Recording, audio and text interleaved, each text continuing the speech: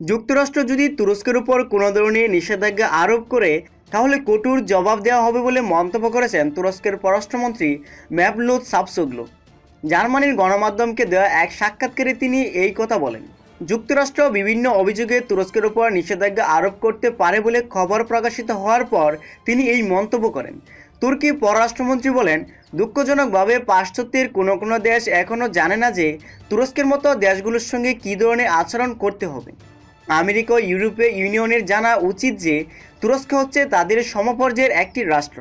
কয়েকজন সাংবাদিকদের বিরুদ্ধে যাবজ্জীবন কারাদণ্ডের আদেশ প্রসঙ্গে তিনি বলেন, দণ্ডপ্রাপ্তদের বিরুদ্ধে দুই সালের সামরিক অভ্যুত্থানের প্রধান হোতা ফাতাহুল্লাহ গুলেন এবং নিষিদ্ধ গোষ্ঠী পিকেকের সঙ্গে সহযোগিতা অভিযোগ রয়েছে।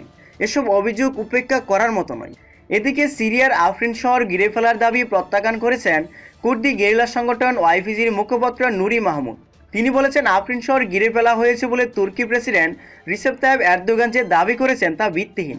তুর্কি সেনারা বর্তমানে শহরের অন্তত দশ থেকে পনেরো কিলোমিটার দূরে অবস্থান করছে বলে তিনি দাবি করেন। গতকাল তুরস্কের প্রেসিডেন্ট রিসেপ তাইব এরদোগান ঘোষণা করেছেন, আফরিন শহর পুরোপুরি গিরে ফেলা হয়েছে এবং যে কোনো মুহূর্তে তুর্কি সেনারা শহরে প্রবেশ করবে। এর আগে তুর্কি পররাষ্ট্রমন্ত্রী ম্যাভলোদ সাবসোগলু বলেছেন, আগামী মে মাসে আফরিন শহরে তুর্কি সেনা অভিযানের সমাপ্তি করবে এদিকে আফরিনের সেনা অভিযানের বিষয়ে তুরস্কের সরকারের উপর অভ্যন্তরীণ চাপ ক্রমেই বাড়ছে। অন্যদিকে সিরিয়ার সরকারি বাহিনী পূর্ব গোটায় সবচেয়ে বড় শহরটি নিয়ন্ত্রণ নিয়েছে। এটিকে তাদের গুরুত্বপূর্ণ অগ্রগতি বলে বিবেচনা করা হচ্ছে। পর্যবেক্ষক সংস্থা Syrian observatory for human rights জানিয়েছে, আসাদ বাহিনী অঞ্চলটির সবচেয়ে বড় শহর মেসরাবা নিয়ন্ত্রণ নিয়েছে। শহরটির রাজধানী দামেস থেকে দশ কিলোমিটার দূরে অবস্থিত। সেনারা এখন পার্শ্ববর্তী খামারি অঞ্চলের দিকে অগ্রসর হচ্ছে।